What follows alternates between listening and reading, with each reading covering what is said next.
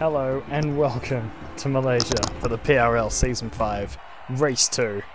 And uh, here we are looking at the qualifying results. Jacko takes pole with a 138.112.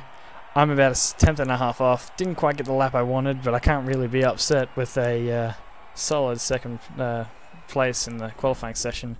Cartoon in sixth place.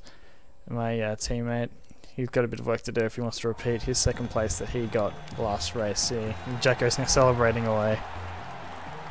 Good drive by him. It was a, a wet session, we're rolling into tyres, so it was quite tricky to get the uh, timing right as the uh, track got wetter towards the end of the session. Yep, so here we go. Jacko. Front, front row. With me but alongside him. And hopefully we can jump him at the start. if we're lucky. Alright, first light, second light, third light, fourth light, fifth light. They're off. And away we go. Not such a good start there. Jacko pulls away off the line. Great start for him.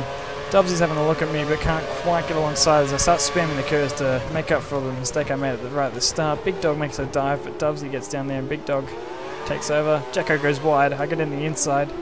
He appears in front of me, so I haven't actually taken that position yet. And uh, top four seem to get through pretty cleanly looking at the map, but the rest behind seem like a massive mess there. Someone's off into the wall, it looks like.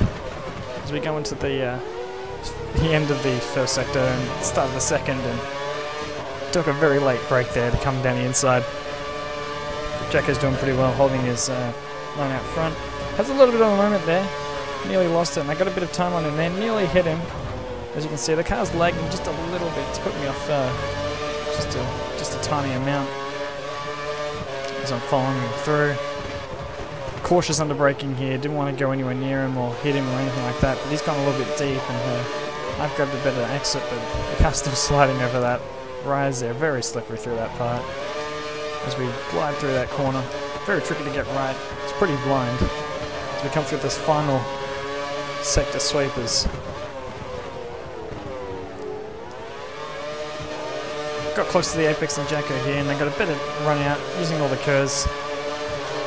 And uh, playing a slipstream, got a bit of a run, moved over to the inside, something on the grass there.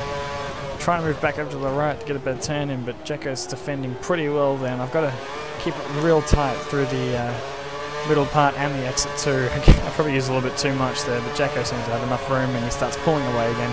Better traction outside, that makes sense. So now, hopefully, try and get down the inside here. Under braking, he goes wide, yes.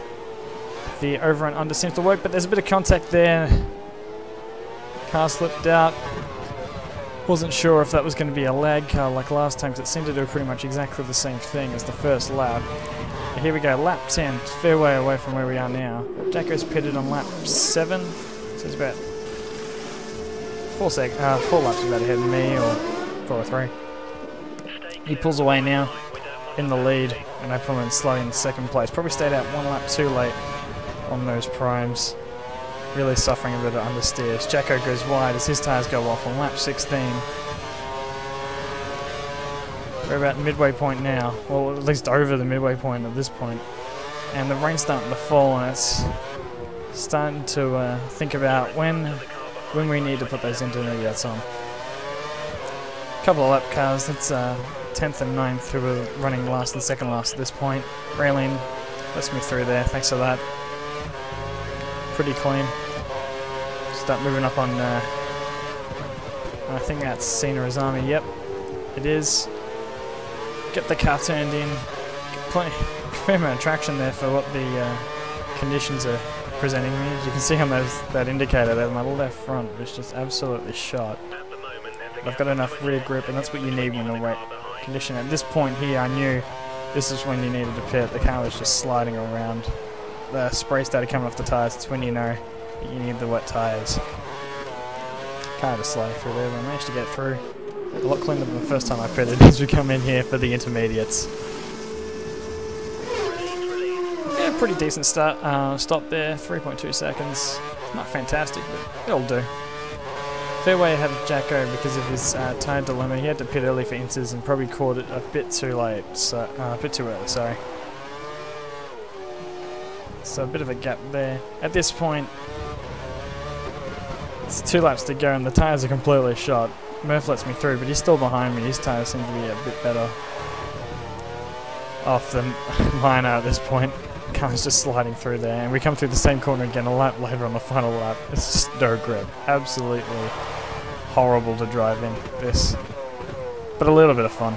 We come around the last corner for the uh, last lap, the car's just drifting. I'm not even trying to do that. It's just sliding through. Tyres are completely shut, in the indicator.